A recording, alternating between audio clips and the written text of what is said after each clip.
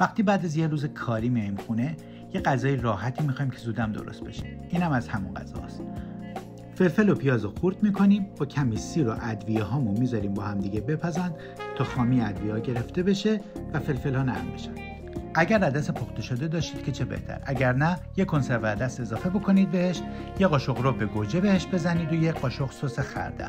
و بذارید ده دقیقه بپزه. وقتی که مواد پخته شد توی یک ظرفی که بشه داخل فرگذاشت بریزیدش. کمی ریحون روش خورد بکنید و ماهی ها رو همینجوری روش بچینید. روی هر تیکه ماهی هم یه دونه قاشق پنیر ماسکارپونه بذارید. و برای 20 دقیقه با حرارت 200 درجه بگذاریدش داخل فر تا ماهی ها کامل پخته بشن وقتی هم آماده شد چند تا برگ ریحون روش بذارید یک کم پوست لیمون روش رنده بکنید یه لیمون روش بچه کنید با بروکلی و نون مورد علاقتون بخوریدش.